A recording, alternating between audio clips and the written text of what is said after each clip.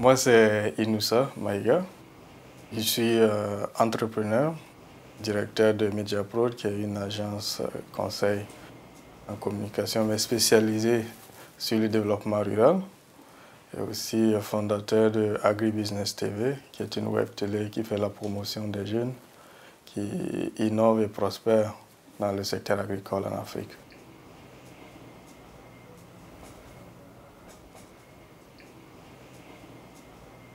Je coordonne toute l'équipe, la rédaction virtuelle, si on peut la dire ainsi, qui est composée d'une quinzaine de journalistes dispersés dans 12 pays. Le médecin est toujours content quand un de ses enfants euh, décide de devenir comme lui, mais rarement ce sentiment-là, on le trouve chez les agriculteurs dans nos pays. Pour moi, c'était un peu comme corriger une injustice liée donc, euh, à cette perception négative qu'on a sur les métiers d'agriculture. C'est notre Coupe du Monde, ça. Entreprendre, ça demande beaucoup de travail. Il faut vraiment de la constance. Alors, la première qualité, c'est d'avoir la passion.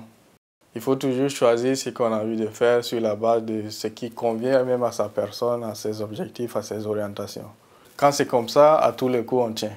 Chaque jour, je vais recevoir des mails de gens qui disent Ah oui, est-ce que vous pouvez nous dire comment est-ce que vous avez fait ça? Je vais refaire la même chose dans mon pays.